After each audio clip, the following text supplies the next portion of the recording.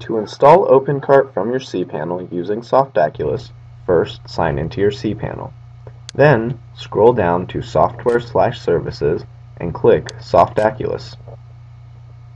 Expand the e-commerce tab and click on OpenCart. Click the Install tab. If your site has SSL, choose the HTTPS protocol in the Choose Protocol box. Then, select the domain that you would like OpenCart to be installed on. In the directory box, enter the name of a non-existent directory, or leave the box blank to install it directly to your domain.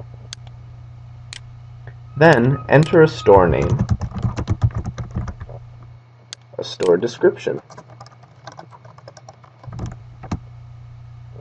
the name of the store owner, and the store address.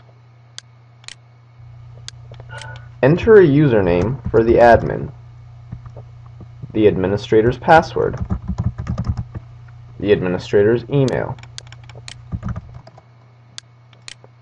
and their first and last name. Finally, click Install.